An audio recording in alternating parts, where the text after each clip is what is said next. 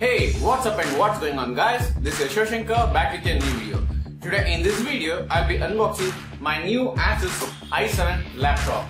Yeah, it is Asus or Asus? Maybe Asus. No, no, come on, let's get started.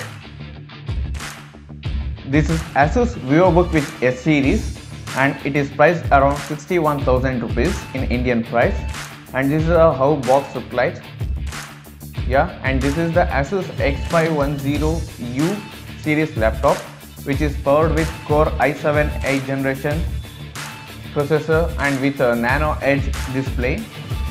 And come on let's unbox it.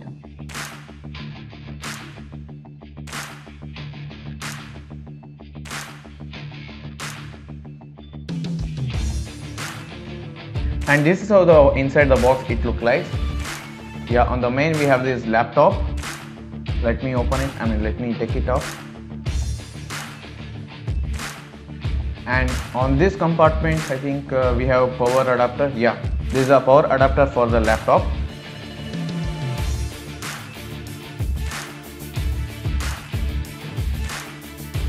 And we have we have few paperworks for the instruction and other warranty yeah we have nothing else here. Yes. These are the components we are getting from this box. Whoa let's open this laptop. Yeah let's open this cover. Whoa nice guys. It looks very stylish and premium and professional. Yeah on the back side we have window. It is tells that it is powered with windows 10 and few serial numbers and few works here and the other side we have two USB, two USB 2.0 ports and the card reader and the battery indicator and the either of the other side we have headphone jack, USB type C port, HDMI port, USB 3.0 port and the power adapter. Oh, it's good, look nice.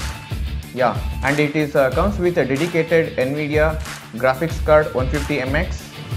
It's uh, quite powerful. Wow it is yeah it has a yeah, fingerprint reader in the trackpad. That's all guys about this video. Thank you for watching the video. Please subscribe to my channel to view more videos like this. Thank you. Have a nice day